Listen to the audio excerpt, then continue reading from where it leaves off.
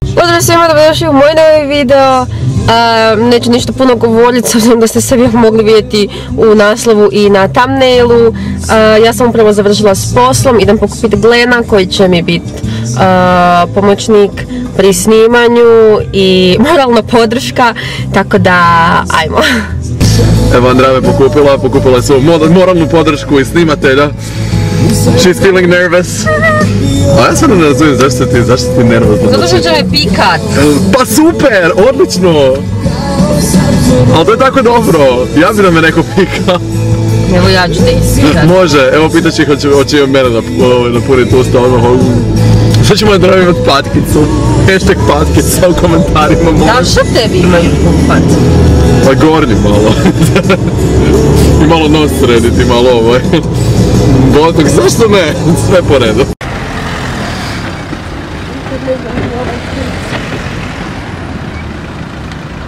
Auto treba filanje. I Andreja će uskoro ići na filanje. Evo, ovdje možete vidjeti motor jednog jedinstvenog auta zvanog... uh, kako ćemo nazvat auto? Bibi... Bibi... Bibi puntalo. Bibi Puntalo, yes! Yes, yes, može, dogovoreno. Znači, Bibi Puntalo je ovdje. A gdje ide ulje? ulje, evo ga, ulje. Oil, Gdje je onaj... oil. Hehe. Bibi je zabravila ovak, pa će iskoristiti ovu priliku da kažem da će ovo njoj izgledati pred bomba. Znači doslovno će izgledati vrhunski, sad da me ne pati, tek kad ide editirat video vidi ovo, ali se bez veze nervira, to jest ne nervira, da se bez veze stresira oko toga kako će izgledati, da će paket izgledati brutalno, znači brutalno. Samo smireno. Možeš ti. se od muke. A gledaj, to ti je isto dobro. Nije mi to loše neka čišćenje organizma, znaš, onako upali.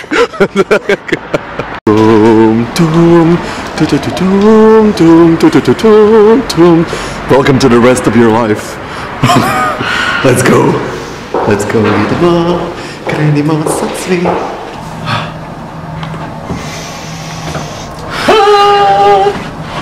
Ko je sad razmišljao, mi ovo treba, mi ovo ne treba.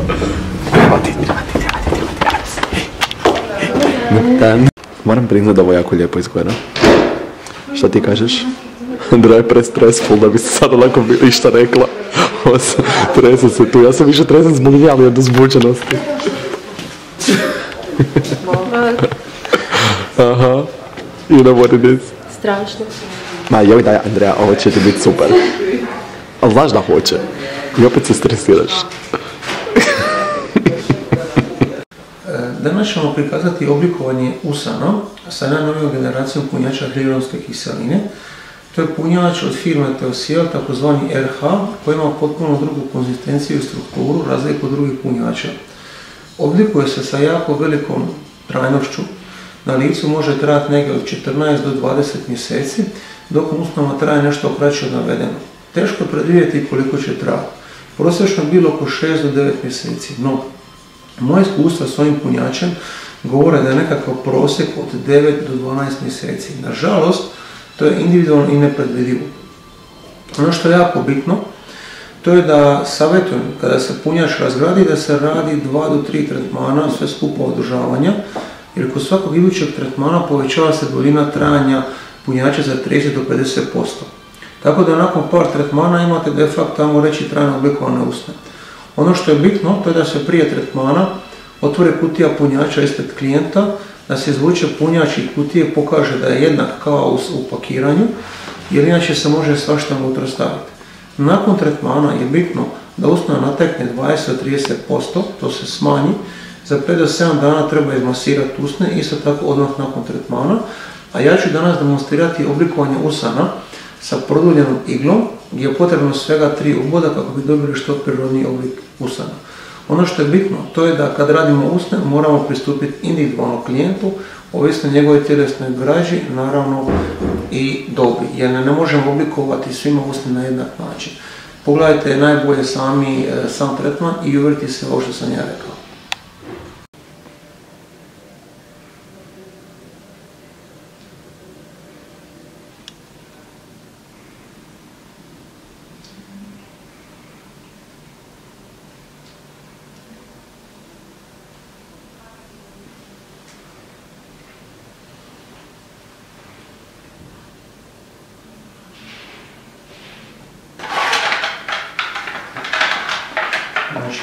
Piše RH3. RH3. Znači to je jako bitna stvar da se mora pokazati da piše RH3 i da piše RH3. To je ključ sada. To je stavio jedno...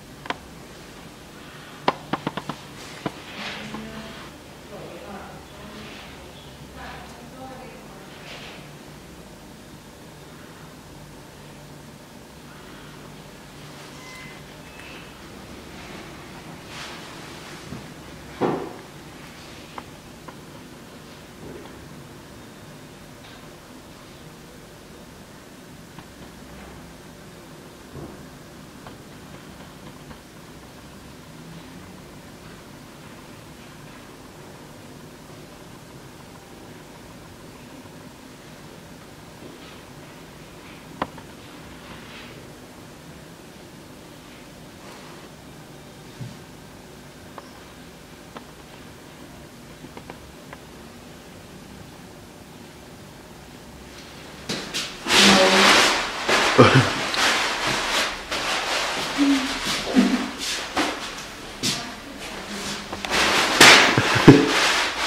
ćemo prikazati tretman dubinskog čišćenja lica koji je najefikasnije očisti lice, zove se Hydra Facial.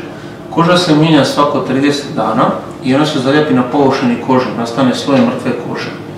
Šta se dešava? Tipično prije i iza ljeta imate osjećaj da vam njena krema ne paše, ne možete teže da nosite puder, površava se te. To je zato što je mrtva koža na površini i ona se zalijepila, njena krema ne može doći. I stavite sloj kreme na sloj.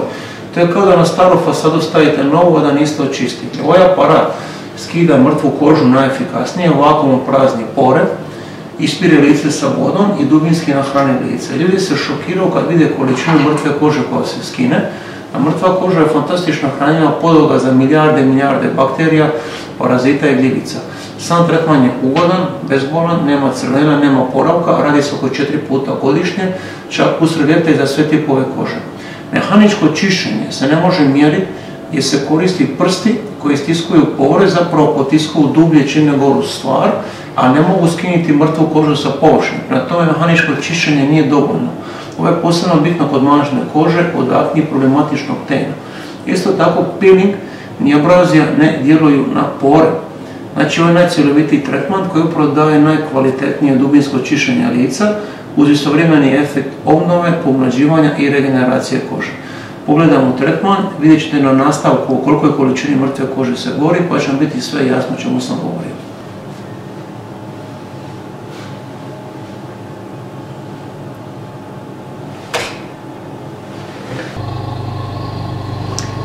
Nisi vidjela nastavak kako izgleda prije, znači unutra je crna spužica bila, čist je bio, sad sam par puta već povukla i već ima mrtve kože. Kamera, kamera. Ali to nije još... uh, E, će- nema veze, nek se vidi i prije.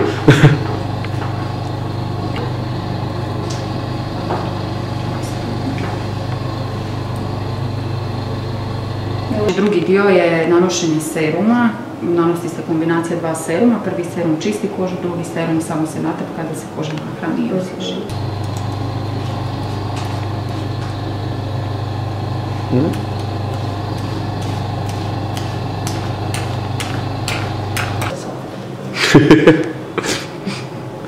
Li bi fufljano. Baš.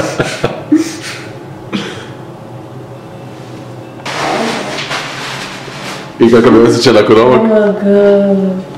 Ha? Evo mene s updateom par dana kasnije. Um, moram priznati da sam jako zadovoljna sa svojim a, novim usnama. Um, prvo ću vam reći da mi je anestezija držala nekih 6 sati, dakle do nekih 10 na večer. Znači ja sam otišla, dobila sam anesteziju oko pol 4 4. do nekih 10 na večer mi je držala anestezija i onda me je napokon popustila, tako da savjetujem da jedete i pijete prije nego radite ovakve tretmane, jer poslije baš i niste u mogućnosti.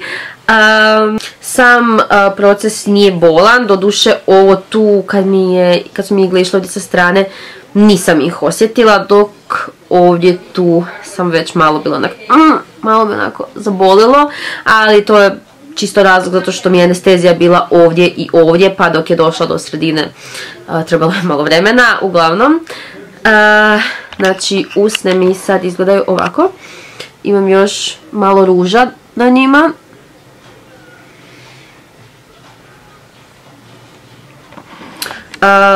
moram reći da nakon tretmana ja se već danima slikam, snimam, objavljujem na Instagram, na Insta story i nitko nije ništa primijetio što je zapravo jako dobra stvar jer usne stvarno izgledaju jako prirodno i želim reći da zanimaju me svakako vaši komentari što vi mislite o ovakvim tretmanima i isto tako bih htjela reći da nema potrebe za hejtom niti mene niti ostalih ljudi koji to rade jer ok, ja se slažem s tim da svako treba prihvatiti svoje tijelo i voljeti se onaka kakav je, bla bla bla bla.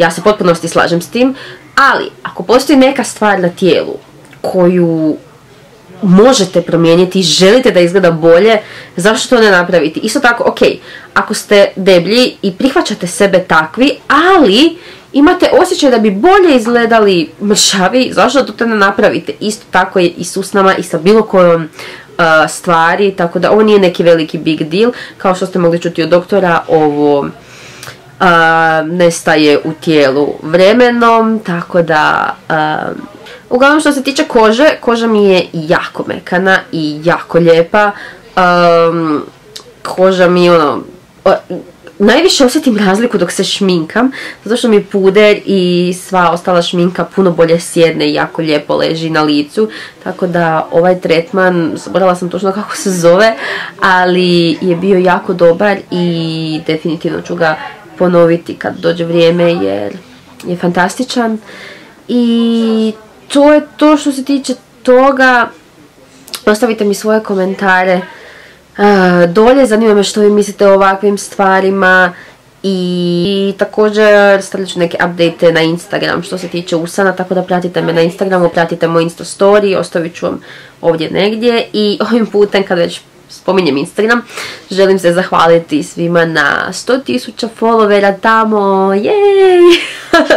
Hvala vam puno i evo, tu su ovi moji čuveni baloni koje sam objavila i da, to je sad stvarno to. hvala vam što ste gledali video, lajkajte, komentirajte, preplatite se i vidimo se u sljedećem. Ćao!